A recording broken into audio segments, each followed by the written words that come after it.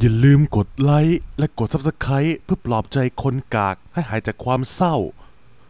ขอบคุณทุกคนด้วยนะครับ ตอนนี้ผมหายเศร้าแล้วแย่ขนกาก ปะทะ คนเทพ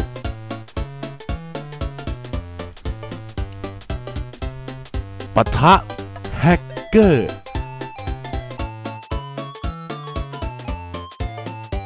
การแข่งสร้างบ้านอัจฉริยะลึกลับขนกากสวัสดีครับ น้องๆ หนูๆไม่ได้เจอกันนานเป็นอาทิตย์ คิดถึงนูบบ้างไหมอะอะอะอะอะถ้าน้องๆไม่คิดถึงนูบก็ไม่เป็นไร แต่นูบก็อยากจะบอกว่า นูบเนี่ยคิดถึงน้องๆมากเลยนะ หายไปตั้งหนึ่งอาทิตย์เกือบเกือบสองอาทิตย์ได้เลยอะนะ ก็ถามว่านูบไปไหนเหรอ ก็นูบเนี่ยอ่าต้องไปตามงานนะ เออไปตามงานแล้วก็ต้องสอบด้วยนะ เป็นช่วงใกล้ปิดเทอมแล้วนะ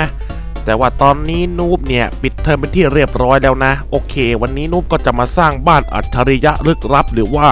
Smart Hidden House นั่นเองนะครับ โอเค เดี๋ยวเราหาพื้นที่กันก่อนเลยนะ อ่า ก่อนนูบเนี่ยจะปิดเทอมอ่าเป็นเวลา 2 อาทิตย์นะครับ มันก็อาจจะดูน้อยไปหน่อยนะ เพราะว่าอยู่ปวสแล้วนะเออปิด 2 อาทิตย์ก็คืออ่าเดือนนี้นะครับ แล้วก็ไปปิดอีก 2 อาทิตย์ตอนปีใหม่นั่นเองนะก็เป็น 1 เดือนนะ ก็เขาก็เข้าใจเลือกอ่าช่วงปิดเทอมเนาะนะครับอืมโดยเฉพาะช่วงปีใหม่เนี่ยนะ ก็ ไปปิดเทอมช่วงปีใหม่มันก็ถือว่าเป็นอะไรที่ดีนะ แบบว่าหยุดไปเที่ยวปีใหม่ไปเข้าดาวอะไรอย่างนี้นะครับ อ่าโอเคเราจะมาสร้างบ้านกันเลยนะเออประตูต้องเป็น trap door อ่า trap door อยู่ไหนวะเนี่ย trap door อ่า trap door อยู่ไหนวะหาไม่เจอมันอยู่ไหนวะเนี่ยโอ้โหไม่ได้เล่นนานลืมกันเลยทีเดียวแล้วเนี่ยอ้าวอยู่นี่นี่วะโอเคอ่าทำยังไงดีวะเนี่ยจะทำเป็นประตู trap door อะอ่า อ่าบล็อกปิดได้ไหม มันก็น่าจะเข้าไม่ได้ มันน่าจะติดข้างล่างนะ ดูจากซองแล้วน่าจะเข้าไม่ได้ โอเคงั้นเอาออกไปก่อนดีไหม มันดูดิ น่าจะเข้าไม่ได้นะผมว่า อะ โอ้โหข้างบนโบเลยเว้ย อะ เอาบล็อกอุดไปก่อน อะ แล้วก็ทุบบล็อกไปงี้อะ โอเคประมาณนี้โอ้ยข้างบนแม่งไอ้นี่เกิน โอเคครับแล้วก็ขุดบล็อกอย่างนี้ไปเรื่อยๆนะอะขุดแบบนี้ เอออะขุดต่อไป ถ้าไม่สุดก็ขุดต่อไปนะ โอเคนะครับ เราจะเคลียร์พื้นที่ก่อนนะแล้วค่อยมาตกแต่งบ้านทีหลัง ตอนนี้เอาอะไรให้มันโอเคก่อนอะข้างบนอ๋อข้างบนก็ยังมีบล็อกดินอยู่ก็ขุดไปเรื่อยๆนะครับ จนกว่ามันจะสุดนั่นแหละ แต่มันจะมีอยู่ช่วงหนึ่งอะที่มัน อ่ามันขุดแล้วมันจะโบนะ ก็คือข้างหน้านี่เองนะ อ่ามันโบใช่ไหมอะปล่อยไว้ โอเคนะครับ แล้วเราก็เอ่อ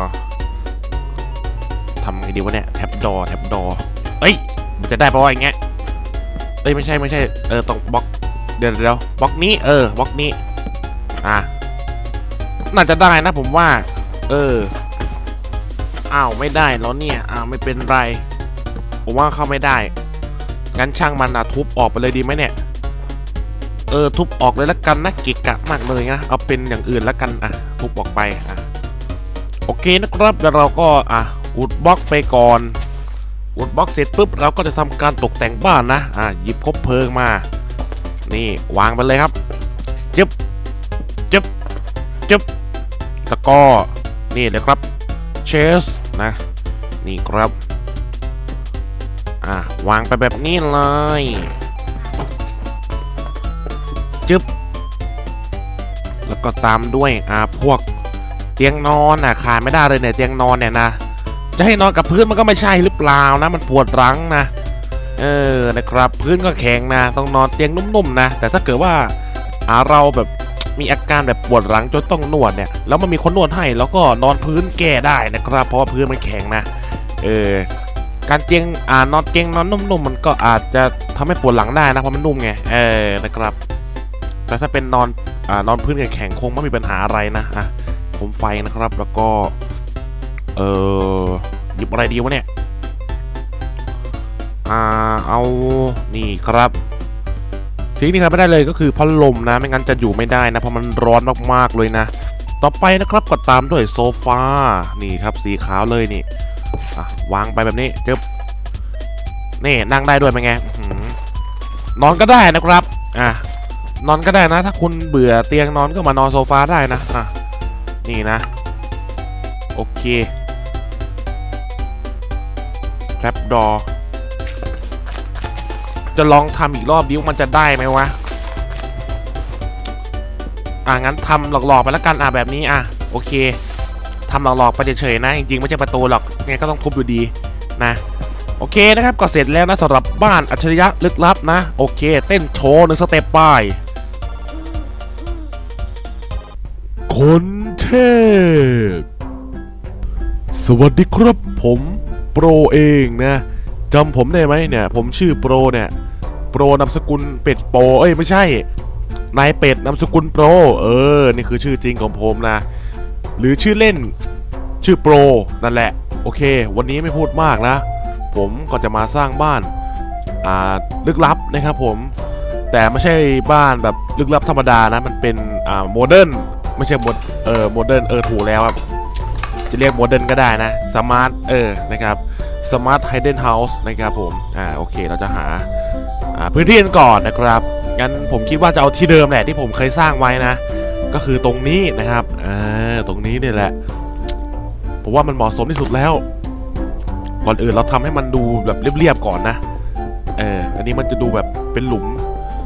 อะไรเกินไปนะ โอเคนี่ครับขุดบล็อกกันก่อนเลยนี่ครับต่อบล็อกมาอย่างนี้อ่าโอเคนี่เมื่อเสร็จแล้วนะครับ เราก็จะขุดบล็อกเข้าไปนะ อเค นี่ครับขุดเข้าไปเลย อ่าขุดเข้าไปอย่างนี้นะครับ อ่าเอาไฟมาด้วยมันมืดนะ มันเป็นกลางคืนนะครับ มันทำอะไรมองไม่เห็นนะทำอะไรค่อนข้างที่จะลำบากนะ แล้วก็อาจจะอันตรายได้นะ เออ มาสร้างบ้านตอนกลางคืนเงี้ยนะก็ไม่มีใครเขาบ้าจี้สร้างบ้านตอนกลางคืนหรอกครับ ก็ต้องสร้างกลางวันเท่านั้นแหละ จริงไหมเออนะครับ ขนาดกลางวันยังอันตรายเลยนะ เออนะครับ จริงนะ แบบอาจจะเกิดอุบัติเหตุได้ตลอดเวลานะอันนี้คือกลางวันนะครับ แล้วถ้าเกิดไปนกลางคืนอะโอ้โหความเสี่ยงมันก็เพิ่มเข้าไปอีกอะเพราะว่ามันมืดได้ไง มันไม่มีแสงไฟนะครับ คงไม่มีใครเขามานั่งฉายไฟตอนสร้างบ้านหรอกมั้ง แบบอีกคนนึงสร้างบ้านอีกคนนึงส่องไฟฉายอย่างเงี้ย โอ้โห เหนื่อยตายนะครับ ก็ต้องสร้างกลางวันนั่นแหละนะ แต่ผมบ้าจี้สร้างตอนกลางคืนอะเออ ก็เป็นมืออาชีพพอนะ ที่จะสร้างบ้านกลางคืนได้นะ สร้างได้ทุกที่ทุกเวลา นี่แล้วก็ล้อเอาเพดานออก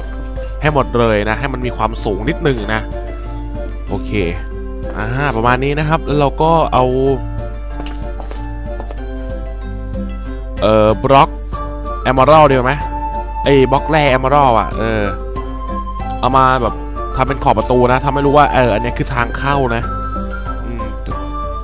ถ้ามีคนสังเกตจริงๆ มันก็ต้องสงสัยว่ามันคืออะไรทำไมมันเป็นอย่างนี้วะเนี่ย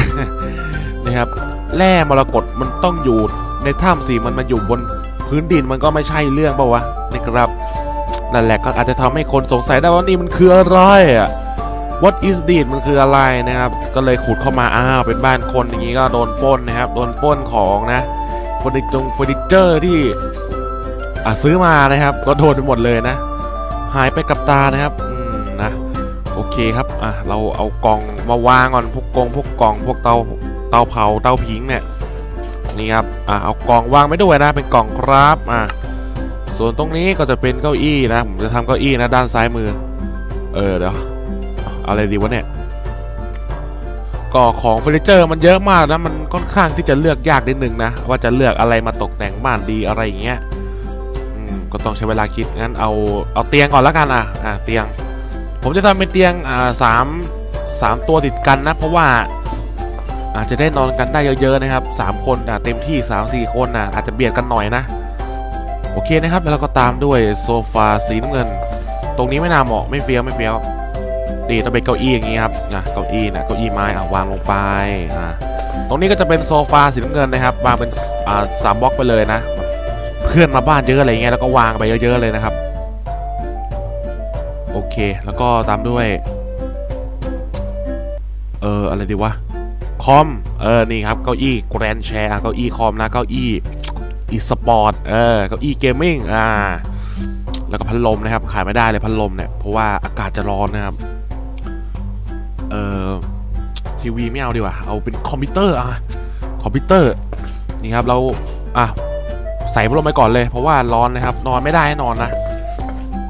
แถมไม่มีลมเข้าเลยครับ เพราะว่าเป็นบ้านลึกลับนะ ก็ต้องใช้พัดลมนั่นแหละ